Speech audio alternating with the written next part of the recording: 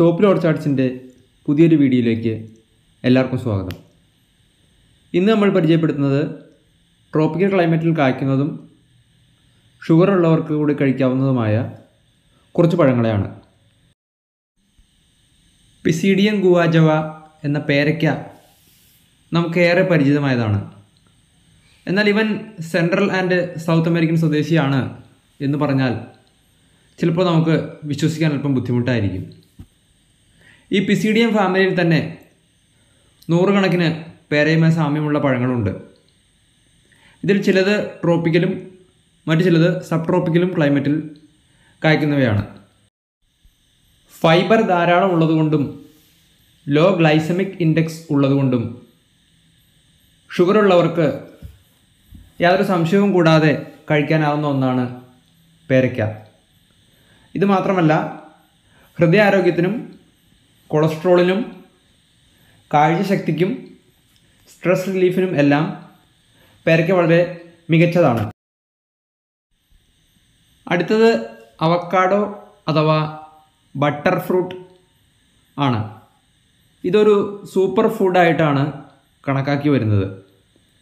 നേരിട്ട് കഴിക്കുമ്പോൾ പ്രത്യേകിച്ച് വലിയ രുചി ഇല്ല എന്ന കാരണത്താൽ നമ്മൾ അധികം താല്പര്യം കാണിക്കാത്ത ഒരു പഴമാണ് ഇത്. എന്നാൽ വിദേശികൾ അവരുടെ ഡെയിലി മെനുവിൽ നിർബന്ധമായി ഉൾപ്പെടുത്തുന്ന ഒന്നാണ് അവക്കാഡോ. ഇതിന്റെ ഗ്ലൈസമിക് ഇൻഡെക്സ് പതിനഞ്ചാണ്. ഇതിൽ ഫൈബർ വളരെ ഉയർന്ന അളവിൽ അടങ്ങിയിട്ടുണ്ട്. അവക്കാഡോയിൽ ഫാറ്റ് കണ്ടന്റ് അല്പം കൂടുതലാണ്. എന്നാൽ ഇത് മോണോ സാച്ചുറേറ്റഡ് ഫാറ്റ് ആയതുകൊണ്ട് ശരീരത്തിലെ ഇൻസുലിൻ സെൻസിറ്റിവിറ്റിയെ ഉയർത്താൻ സഹായിക്കും.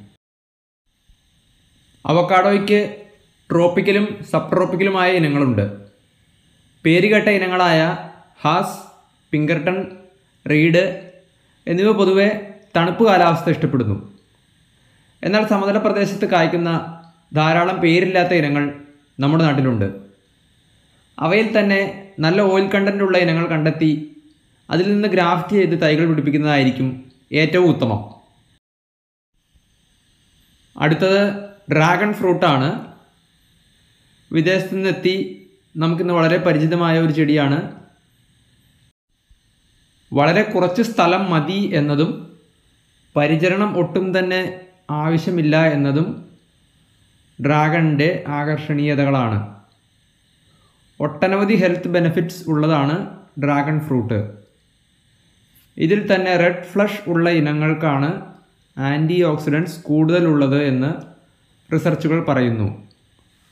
ഇതിന്റെ ഗ്ലൈസമിക് ഇൻഡെക്സ് ഫോർട്ടി എയ്റ്റിനും ഫിഫ്റ്റിക്കും ഇടയിലാണ്.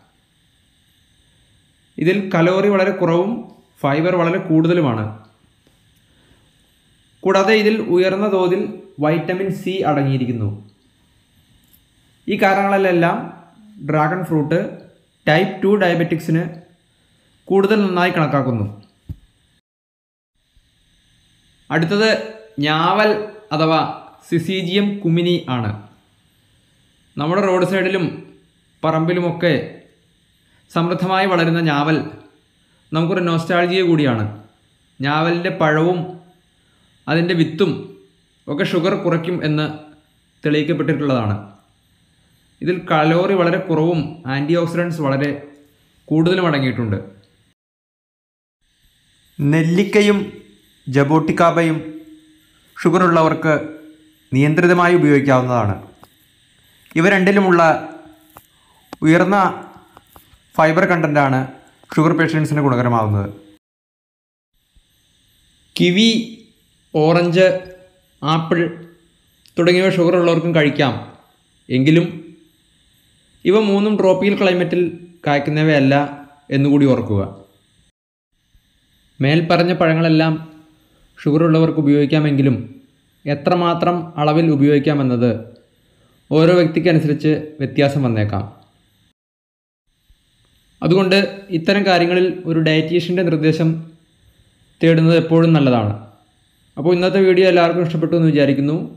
അടുത്തൊരു വീഡിയോയിലൂടെ കാണുന്നവരെ എല്ലാവർക്കും ഗുഡ് ബൈ.